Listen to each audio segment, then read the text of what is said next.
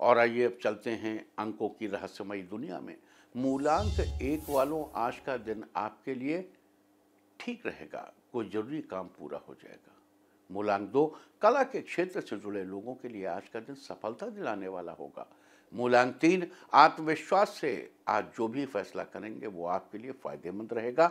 मूलांक चार, आज आपको ज़्यादा भावुक होने से बचना चाहिए, नहीं तो इसका असर आपके कामों पर पड़ेगा। मूलांक पाँच अगर आप कोई पुराना वाहन बेचना चाहते हैं तो आज बेच सकते हैं। मूलांक छः जो लोग बिज़नेस में हैं, आज उन्हें अचानक धन लाभ होने के योग बन रहे हैं। मूलांक सात, अगर आप नया काम शुरू करने की सोच रहे हैं तो आज का दिन अच्छा है। मूलांक आठ, आज आपको धन लाभ के कई मौके मिलेंगे, जिससे आपको फ़ायदा होगा। मूलांक नौ, सकारात्मक विचार और सौदेबाजी से आप कुछ ज़्यादा हासिल कर सकते हैं।